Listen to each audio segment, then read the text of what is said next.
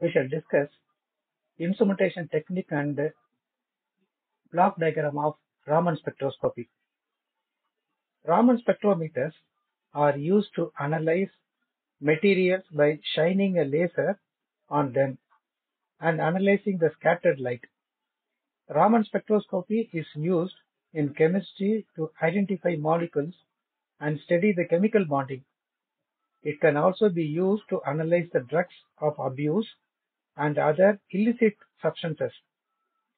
Raman spectroscopy is a non-destructive chemical analysis technique which provides detailed information about the chemical structure, phase, polymorphy, crystallinity, and molecular interactions. It is based upon the interaction of light with the chemical bond, bonds within the material. Raman is a light scattering technique whereby a molecule scatters incident light from a high intensity laser light source. Most of the scattered light is at the same wavelength as the laser source and does not provide useful information and this is called the Rayleigh scatter. However, a small amount of light is scattered at different wavelengths which depend on the chemical structure of the substance. This is called the Raman scatter. Raman scattering is a spectroscopy technique that is complementary to infrared absorption spectroscopy. The technique involves shining a monochromatic light source, that is laser, on a sample and detecting the scattered light. The majority of the light scattered light will pass through the sample without interaction. The result is the detector will receive the energy which is of the same frequency as the excitation source. This is known as Rayleigh or elastic scattering. A very small amount of the scattered light, around 1 in 10 power 7, is shifted in energy from the laser frequency. This shift is known as Raman shift or Stokes shift. This is inelastic scattering. At room temperature, the anti-Stokes shifted Raman energy is weaker than the Stokes shifted energy. Thus, they are usually ignored and removed by filters. And here is the picture which shows the Rayleigh scattering and the Raman scattering. So Rayleigh scattering is the elastic scattering and Raman scattering which is uh, the center picture, center line and the right line which is nothing but inelastic scattering. So if light shines on the material and we have uh, the transition from ground state to one of the virtual states here. And these lines V1, V2, Vn are called rotational or vibrational energy levels. And Rayleigh scattering which is elastic scattering and this line upward transition goes to virtual state. And from virtual state to the same same place it comes down. Whereas here the Stokes scattering and it goes to the virtual state whereas from the virtual state it jumps to any one of the rotational or vibrational levels here. So inelastic scattering. Similarly it starts from any one of the rotational level and goes to the virtual state. It absorbs and when it comes to the ground state again it is inelastic scattering. So this will be Stokes scattering and anti-Stokes scattering are Raman lines and Rayleigh scattering in which we have elastic scattering takes place. This is due to interactions between the incident electromagnetic waves and the vibrational energy levels of the molecules in the sample. In other words, the interaction can be viewed as a perturbation of the molecule's electric field. Instrumentation technique and block diagram. Instrumentation for modern Raman spectroscopy consists of the following components. Laser source, sample illumination system, lens, monochromator, detector and recorder. And this is the block diagram of Raman spectrometer. Here, the source is nothing but the laser. So we have a laser here with a low frequency in order to reduce the fluorescence on the sample. The lens L1, so this is our lens L1, focuses the light onto the sample. So sample is here. The sample is illuminated and scattered light is collected by the lens 2 for dispersion. And here the geometry of the sample is seen right below. Here the light comes from the lens 1. So we have lens 1 falls on the sample. Due to the concave mirrors M1 and M2, light reflects back and falls on the sample and it scatters and falls on lens 2 and more focused light on the dispersive system. So we have with the different wavelengths that will fall on the dispersive system. That is different wavelength of the light will fall on the monochromatic in which either uh, gratings will be there or prisms will be there or one or more gratings will be there. However, from the dispersive system, we have a single narrow wavelength will come out from the monochromator and falls on the detective device. It passes through the photomultiplier and the output of the multiplier is amplified and it is recorded and we have the Raman spectrum. Laser source.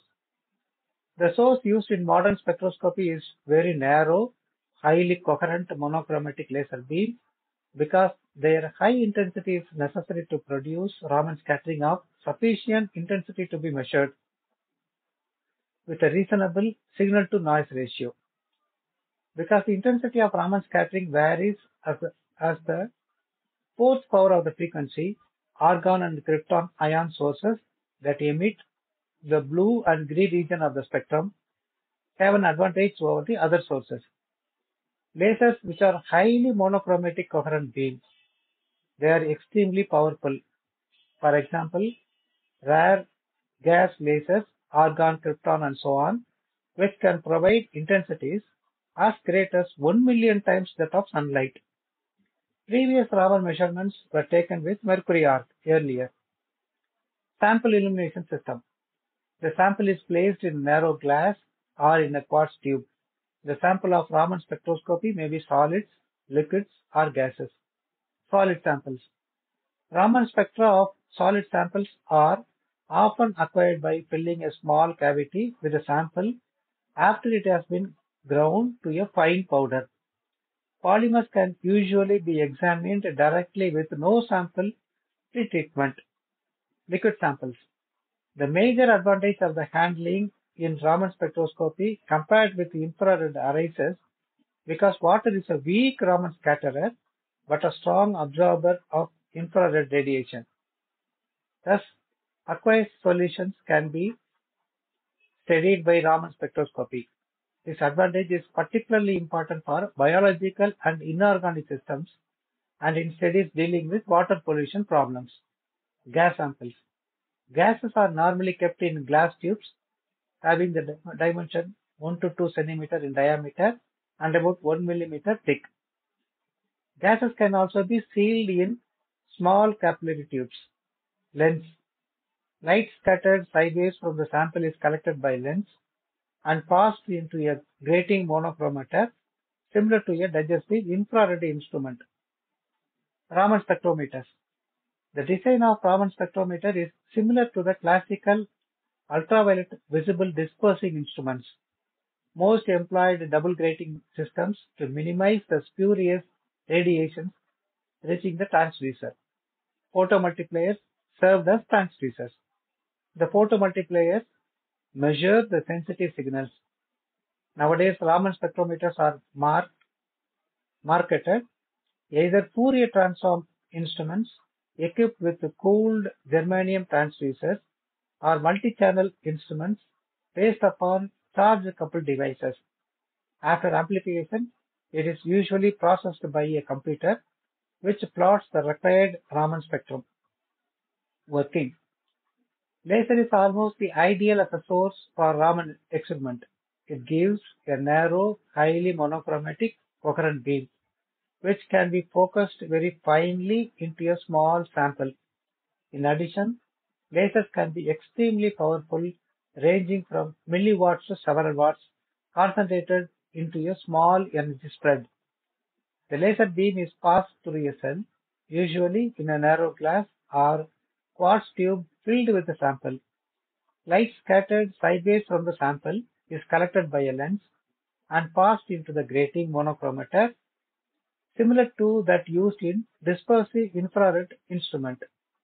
The signal is measured by a sensitive photomultiplier and after amplification, it is usually processed by a computer which plots the Raman spectrum. The use of plane polarized radiation gives information about the symmetries of molecular vibrations. To make these measurements, the laser beam is plane polarized perpendicular to the plane of the paper and a polarizing filter is placed between the sample and the collecting lens. The Raman spectrum is then measured twice. First with the polarizing filter, which is said to pass light polarized perpendicular to the paper and then right angle to this. The ratio of the two signals for each Raman line is a measure of degree of polarization of that line. For vibrational measurements, the Raman technique has several advantages over infrared spectroscopy. FTIR spectroscopy brings out the fact of changes in dipole moments, whereas the Raman spectrum gives the changes in the molecular bond polarizability. The interaction of light with a molecule can induce a deformation of its electron cloud. This deformation is known as a change in polarizability. Molecular bonds have specific energy transitions in which a change in polarizability occurs, giving rise to Raman active modes.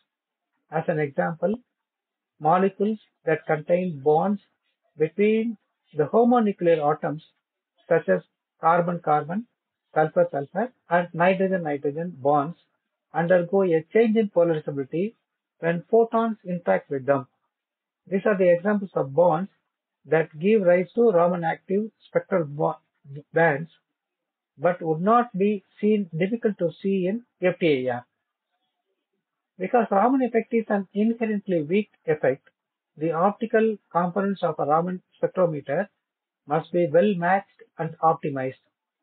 Also, since organic molecules may have a great greater tendency to fluorescence when short wavelength radiation is used, longer wavelength monochromatic excitation sources such as solid state laser diodes having light at 785 nanometer are typically used. Advantages.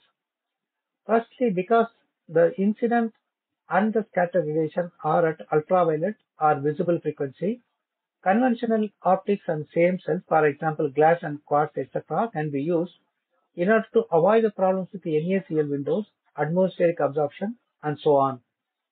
Secondly, because the beam can be focused extremely finely, diameters as small as 0.1 nanometer are possible. Very small samples can be studied. This combined with the pulsed techniques which can give very short time resolutions, enable very small quantities to transient species to be studied. Thirdly, water, which has strong infrared absorptions, is rather a weak Raman scatterer and, and so aqueous solutions can be studied using Raman spectroscopy. Using the sample signal is not swamped by that of the solvent.